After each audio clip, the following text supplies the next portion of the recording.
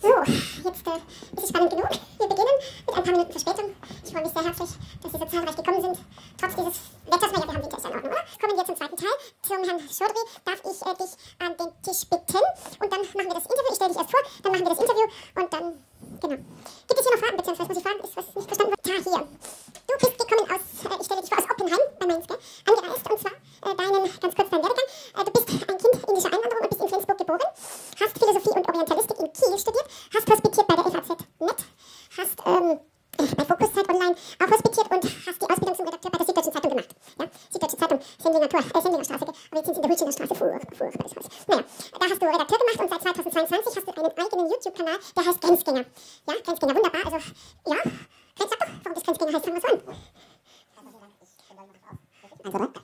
Vielen Dank, dass ihr da seid. Ähm, erstmal muss ich etwas zu dir sagen, weil ich habe dir ja gerade zugehört. Wir alle haben dir zugehört. Aha. Als du mich angeschrieben hast, ähm, hast du dich vorgestellt als Lehrerin. Ja? Hättest du dich als Therapeutin vorgestellt, hätte ich vielleicht abgesagt. Weißt du warum? Mhm. Ich bin ähm, Therapeuten gegenüber sehr skeptisch eigentlich. Oder ich wusste damals ja nicht, welche Art von Therapie du machst. Ähm, ich habe ein sehr gutes Bild von Lehrern. Weil ähm, ich hatte einen Lehrer in der 10. Klasse, der hat mich total begeistert. Weil er so begeistert war bei dem, was er, woran er geglaubt hat und ja, was er vermitteln, vermitteln wollte, hat mich das so angesteckt, dass ich ähm, ja, so sein wollte wie er. Er hat zum Beispiel jeden Tag die FAZ gelesen. Und um ihm zu gefallen, um ihm zu imponieren, bin ich äh, mit der FAZ zur Schule gekommen, die Männer. Aber das Problem war, äh, ich hatte die Sorge, dass mich irgendjemand fragt, was da drin steht, weil ich nichts verstanden habe. Ich habe immer die FAZ damals aufgeschlagen und ich habe nur Bahnhof verstanden. Ja, und, aber es hat was in mir ausgelöst und ich habe äh, mich angefangen, sehr intensiv mit, mit Sprache und Text zu beschäftigen, dass ich dann irgendwann Philosophie studiert habe, um erstmal mich zu überfordern mit Texten und dann sozusagen die Dinge und Ideen begreifen zu können. Ähm, das nochmal so als Intro, warum ich überhaupt zugesagt habe. Und ich, ich war Lehrerin und deshalb äh, hast du ja, kennengelernt. Ja, weil du so begeistert davon erzählst, ich habe meinen Schülern vermittelt oder vermitteln wollen, wie die Medien funktionieren, habe ich gesagt, ja, dann, dann äh, da bin ich dabei. Okay. Aber zu deiner Frage, Grenzgänger, Grenzgänger, Grenzgänger Studios. Ja, ähm, warum habe ich das so genannt? Äh, was ist ein Grenzgänger? Ein Grenzgänger ist jemand, der beide Welten kennt ja, und äh, immer wieder zwischen ihnen ja, äh, vermittelt, auch, vermittelt, weil er beide Seiten versteht. Ja, und äh, das sehe ich als die Aufgabe dieses Kanals.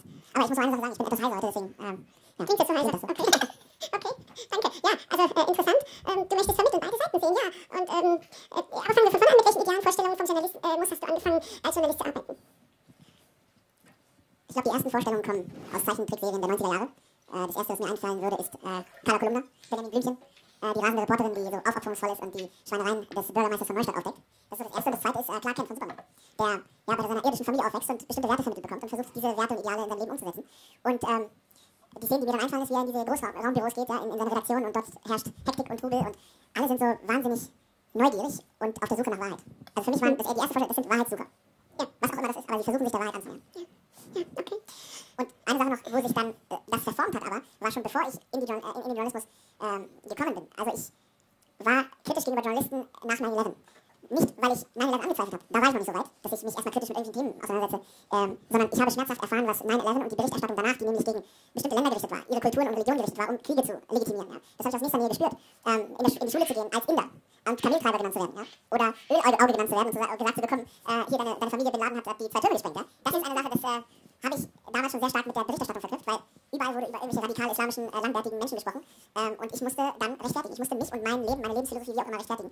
Und das ist äh, ja, deine Existenz überhaupt. Ja. Hm?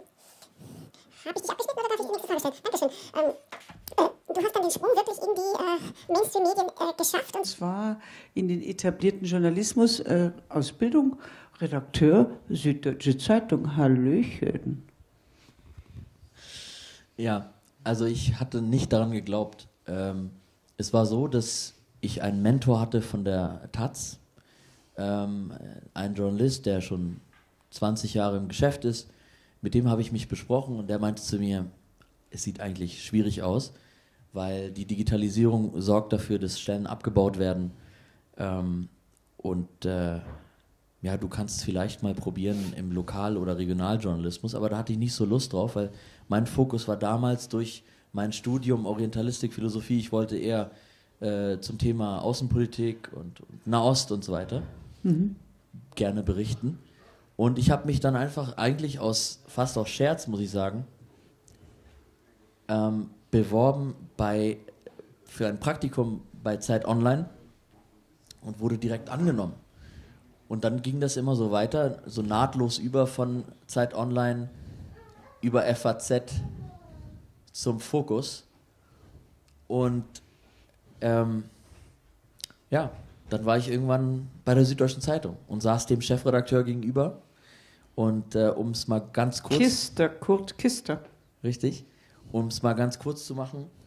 ich war ja sehr kritisch gegenüber Medien davor schon eingestellt. Es war nicht so, Ach dass so, ich erst mhm. aufgewacht bin, während so. ich dort gearbeitet habe, sondern ich wollte mich eigentlich davon überzeugen, dass es vielleicht Dass es wirklich so schlimm ist, oder? Nee, dass es nicht so schlimm ist. Ach ich so, dachte, okay. vielleicht gibt es Freiräume, vielleicht liegt es einfach nur daran, dass, dass es keine echte Diversität gibt. Also die Leute kommen vielleicht aus, demselben, aus derselben Ecke, aus derselben Schicht und so weiter.